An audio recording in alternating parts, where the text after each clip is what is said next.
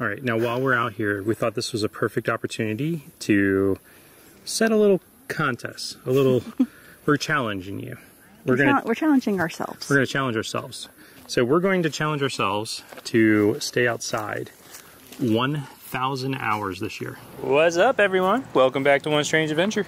Oh. Welcome to the next video. She's got stuff all over her. We are currently in sunny Margaritaville, Auburndale, and we are headed to a preserve.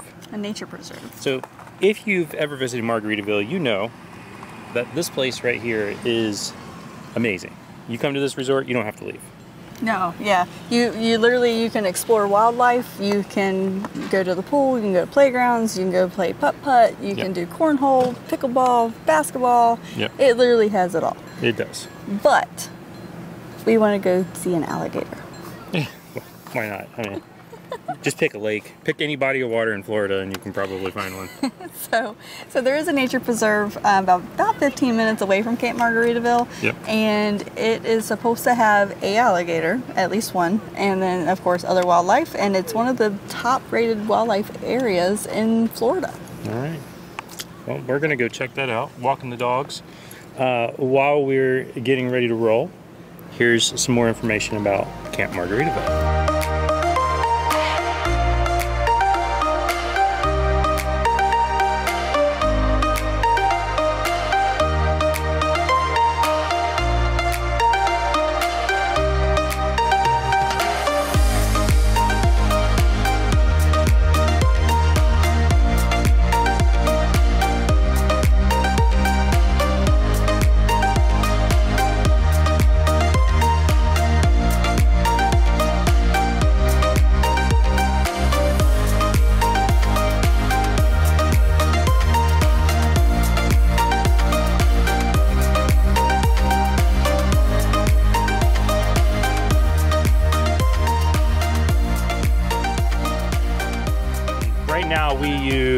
Anderson blocks, like the buckets, to uh, level our rig, and I'll show you what that looks like.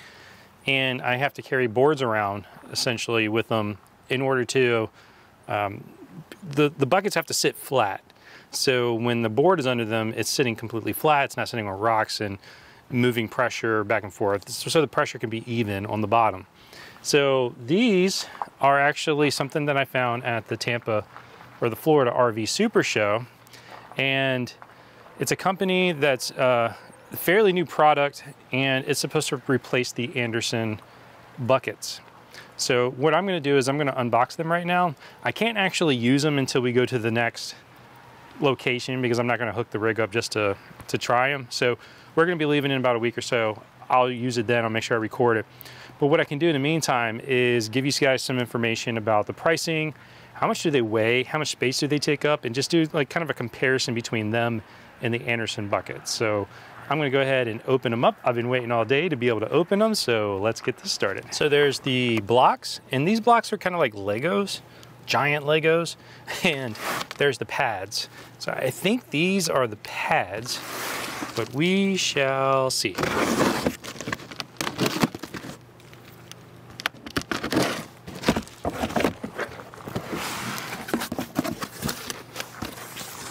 And this company sent me six pads and six blocks. I have six buckets, so I figured that was a good place to start.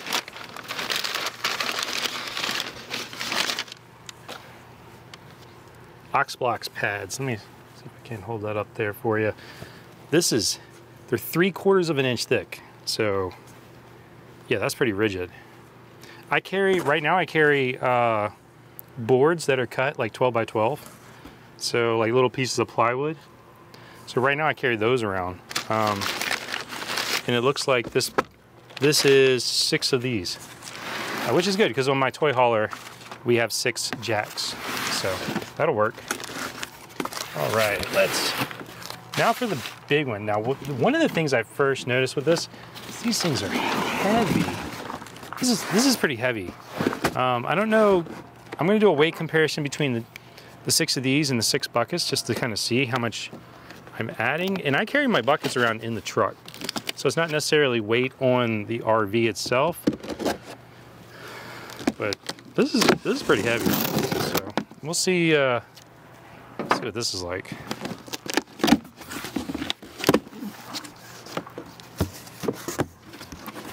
Oh, that's nice though. That's pretty nice.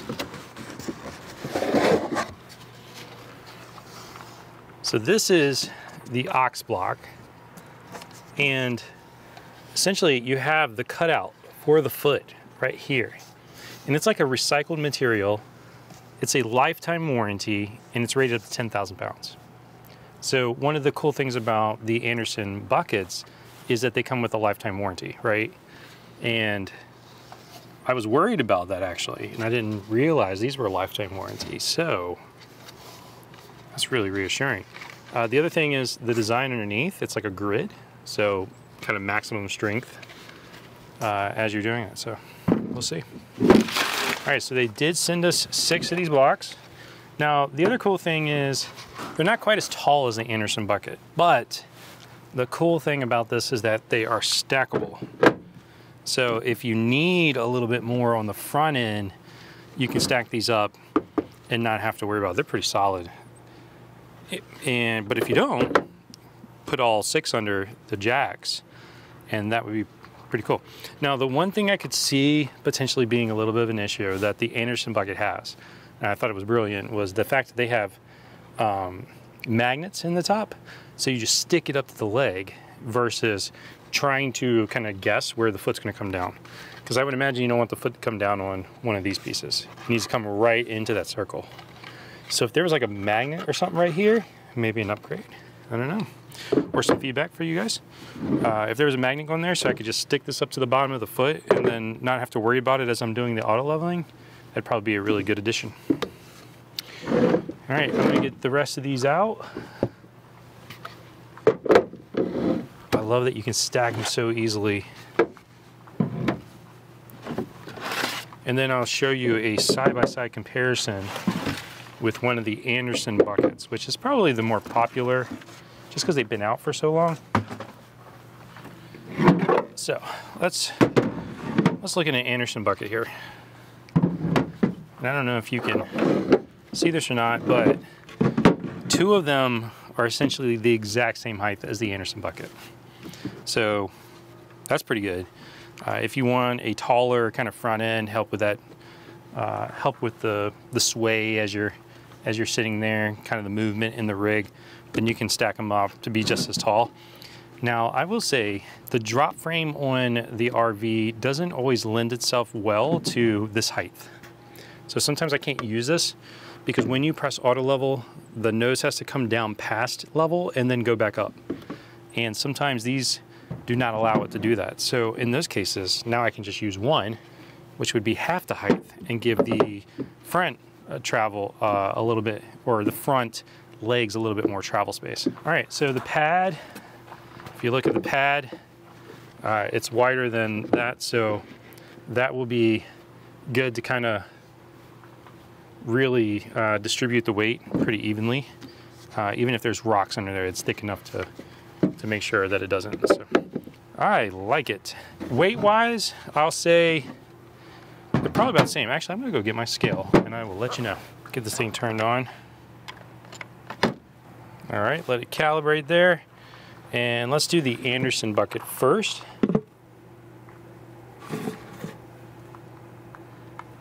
Five point one pounds. And now let's do just one of these. 6.2 pounds. All right, so just one of these is heavier than the Anderson bucket. So you are going to double the weight to get the same height as the Anderson bucket. So that is a consideration. We're at 12.3 pounds for two of them. So let's see what that means. If we add all six, we're at 38.1 pounds. So I'm adding 40 pounds. So you can tell, I mean, altogether, the, the Anderson buckets were, what was it again? About five pounds. I got six of those, so it's 30. So you're adding eight more pounds, essentially, with, uh, with these new Ox Blox. those of you who have never seen the Anderson trailer blocks uh, or buckets, that's exactly what it is. I got it under the front nose right now. And what that does is it allows you to really just kind of lessen the amount of travel that your uh, that your jack has to go in order for you to level.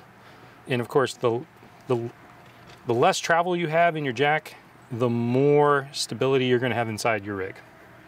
So we always try to make it a point to uh, essentially try to like take up as much of the space as we can, especially when the nose is, if it's a slant on the, the walkway or the driveway or whatever, and the nose has to be really high, try to try to make up some of that. But I'm really excited about these because they're more modular. Um, I will say, like I said, the only thing I think is missing is maybe a magnet so that I can just stick it on the leg and not have to worry about where it drops. But for now, I think that's it. I'm gonna go look up the prices, let you guys know exactly what it's gonna run uh, in the cost comparison between the two. Cost and weight is obviously a consideration. Another consideration you should be thinking about when you buy something like this is how much space does it take up?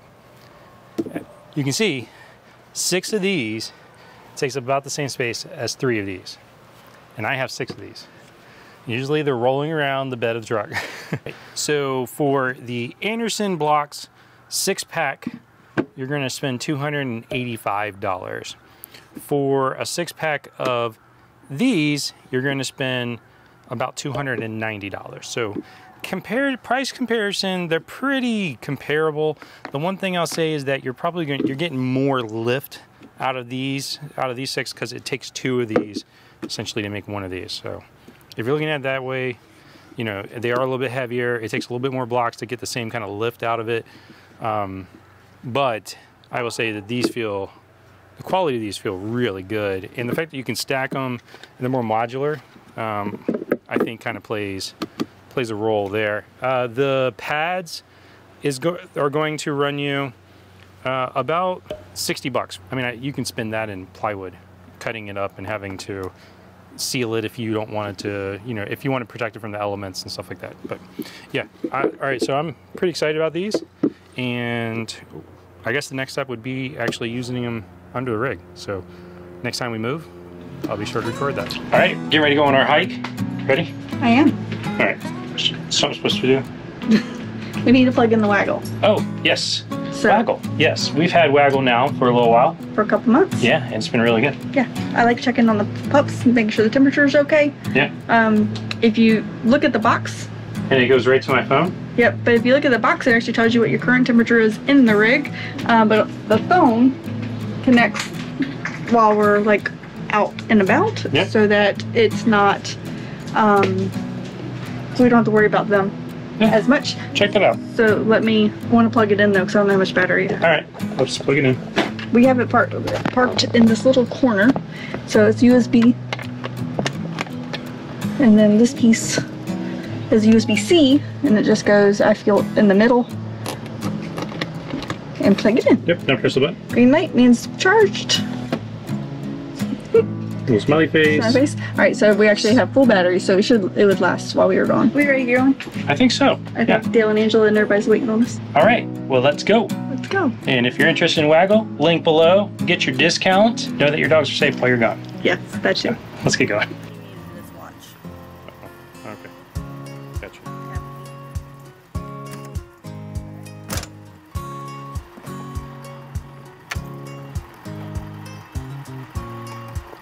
Hey, Dim.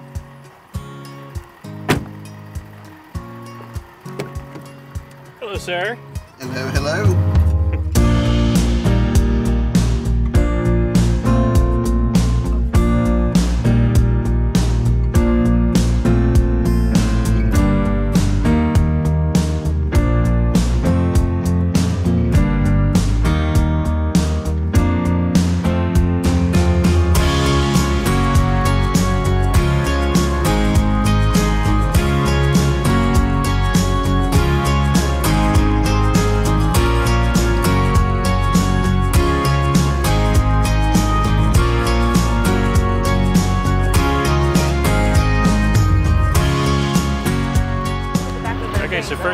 So first thing to know, this place is busy. Very busy. Not a lot of parking either. You're gonna have to go to some of the overflow parking if you wanna if you want a space. But down by the center, nice day. Probably not gonna be much parking for you. All right, so it's a trail map. Tell me what, what we got here. Circle B Bar Reserve, Polk, uh, protecting Polk County, um, water, wildlife, and wilderness. He's got the same hairdo I do when I wake up. Look at all of them. Insects, spiders, butterflies, moths, flowering plants, birds of prey, water birds, reptiles, amphibians, trees and shrubs, and mammals. We have bobcats. Want to go to the nature center? Let's go. Y'all all want a map? We're going to the reserve. That's the meeting room, so we gotta go that way. you don't want me off the side. All right, we should try that one again. Can we delete all of Can we do a retake? That was- retake? Nope, that was perfect. No, not at all. Whoa.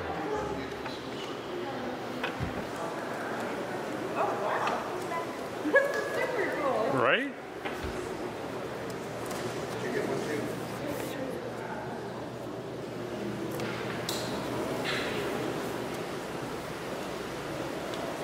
What does it say? Dragonflies. Uh, dragonflies can move each wing independently of others, enabling them to be great flyers.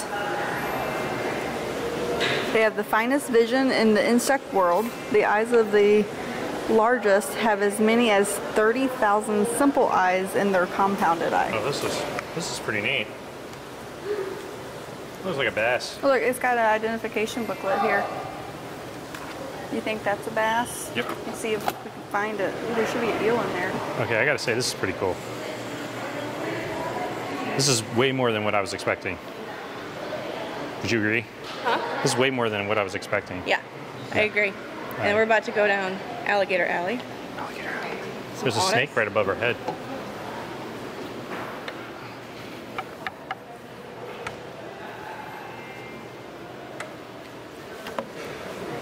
What are you doing up there? Hmm? So what are you doing up there? Uh, just hanging out Getting a view from with the the uh, cottonmouth over here. There's a raccoon staring at you too. Okay, what trail are we taking? Alligator Alley, I Okay. think. Yeah. Um, it says that we should see at least an alligator, hopefully. Yeah. I don't know if we're here at the right time of day though. Well, I mean, they like to sunbathe. They do like the sunbathe. It's pretty sunny. It's pretty warm. Yeah. All right, so it's about 73 degrees out. It doesn't feel 73. It's absolutely perfect. Beautiful day. It feels um, cooler because of it being shady. All, all these Spanish moss Yeah. oak trees. Oh. It's called an oak canopy. What a beautiful, beautiful day. Let's go see our wingspan compared to the eagle. The great bald eagle. Wingspan of 72 to 90 inches. Well, that doesn't tell us what ours is. All right, spread your arms. Not even close. Your All turn. right, my turn.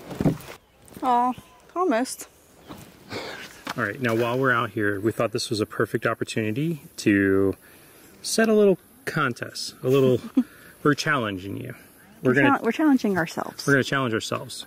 So we're going to challenge ourselves to stay outside 1,000 hours this year. Yes. So yeah, it is a little later in the year. Sorry in advance. But if you already have like an Apple Watch where it tracks your activity and you've already done activities outside, go ahead and log those hours. It's it's okay um, to you know backlog a little bit, but from this point forward, we're going to be tracking on a Google Doc our hours for um, 2024 Yep. and just try to get a thousand hours outside. That can be taking a walk, going on a bike ride, playing basketball, swimming in the pool, whatever. Yep. Just being out of the house um, in nature for a thousand hours a year. Yep. Something just moved behind us. Anyways, uh, so something out here. look at the link below in the description of this video. There will be a link to the document where we're going to be tracking our hours. We want you to join in and do it too. Yes. There's no prize, there's nothing like that, but it's just let's let's build each other up It's a and sense of accomplishment. get a thousand hours outside this year. And then, you know, at the end of the year, right, you got a sense of accomplishment. It's going to be really fun. Yeah. I think you can do it. I think so too. Let's go. One additional thing as I'm while I'm thinking about it, take some pictures of yourself and your loved ones while you're outside. Be sure to post them on Facebook, Instagram, wherever you post the most, and use hashtag 1000 hours. The number one zero zero zero hours. Hashtag 1000 hours. And that way we can follow your journey too. And we'll be doing the same throughout the year. You having a good time? Mm-hmm. We left all like we literally held all of our friends up. They they left us. Everybody has those YouTuber friends. Just fall behind everywhere you go. So it's roughly half a mile to the lake. So not too far if you're just kind of wanting to walk to the lake from the center. Um, you know, there's obviously way more trails than that, and we're going to do some more, but just initially get to the lake, it's about half a mile.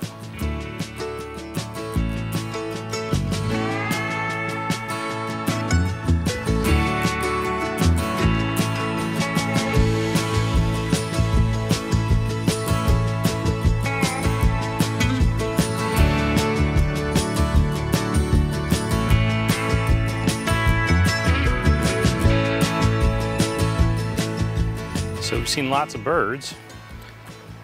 A raccoon, trash panda, but no alligators on Alligator Alley. So, we'll see. Maybe. Maybe it's too cold. So I don't know.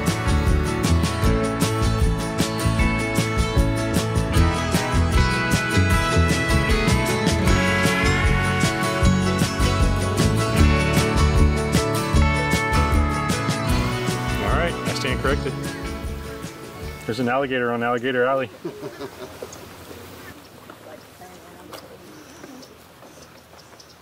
There you go. right. What do you think so far? I think this is an amazing place. This is a great hike. And We saw an Like- alligator. we did see an alligator, but we've also saw somebody with like a walker. So Oh yes, and so it's people. You can bike out here. They, they have like the little scooters that you sit down in instead of setting up one. Have been out here. Some of the walker's been out here. Yep. Strollers. So Big, big wide flat trail. So yeah, and like the places that are a little rough, they have like little bridges. yeah. Um, so it makes it nice.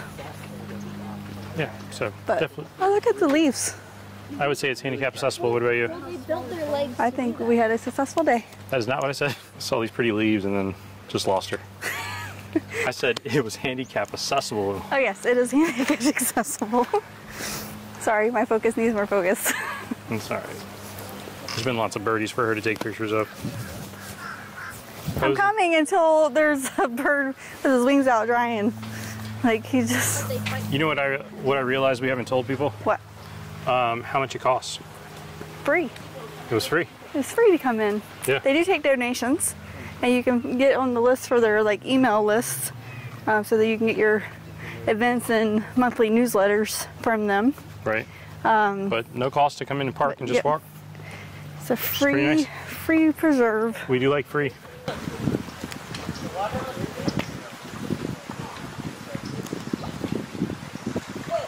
He's not moving.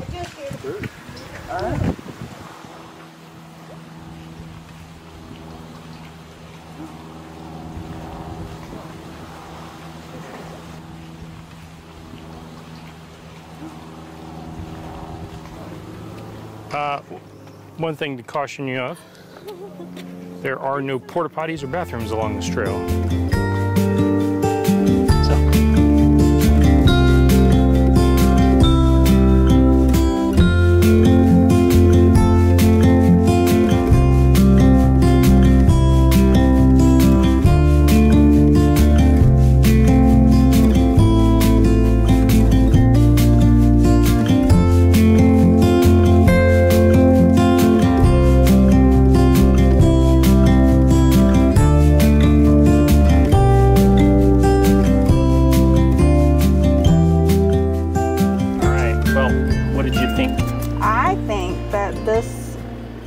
Preserve is pretty amazing. Mm-hmm. It has your palm trees. It has Spanish moss for Nick. Yep. It's got the Everything. turtles and the alligators and all the birds um, for the rest of us. It, it did not disappoint. It, it was actually, it far exceeded my expectations for just walking around in a park. Right. And then we actually only did one trail, and there's like seven trails. And that trail was, I think, a little over two miles long. Yeah, it was pretty long, So, but but flat, completely flat. yeah, definitely handicap accessible. Um, there are a few like roots that you have to look out for on the sandy side by the alligators, but the middle of it is perfectly fine. So you just gotta be careful on the Right. edges. Um, but yeah, it was far exceeding of what we expected. Um, we came just to you know do some wildlife photography and got way much, way more. Way more. All right. Well, if you like this video, make sure you give it a thumbs up. If you really like it, make sure you subscribe. Ring the bell so you get notified when, when we release our next video. Until the next strange adventure. Keep making your own.